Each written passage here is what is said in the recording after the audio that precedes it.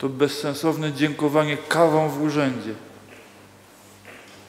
Moja rodzina pochodzi z Francji i do nas dużo Francuzów przyjeżdżało i byli potwornie zdziwieni, kiedy ludzie, moja, mam, moja mama jest tłumaczem przysięgłym, i kiedy ludzie przynosili w ramach wdzięczności pudełko kawy. Francuzi robili takie oczy.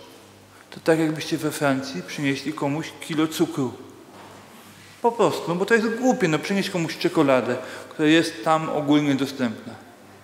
Ta kawa, nieustanna kawa, dla doktora kawa, dla profesora kawa, dla profesora oczywiście także w medycynie łapówka. Ale pamiętajmy, że koperta musi stać, a nie leżeć. Nie ma zgody na tego typu zachowania, bo to my tworzymy mentalność korupcyjną w Polsce.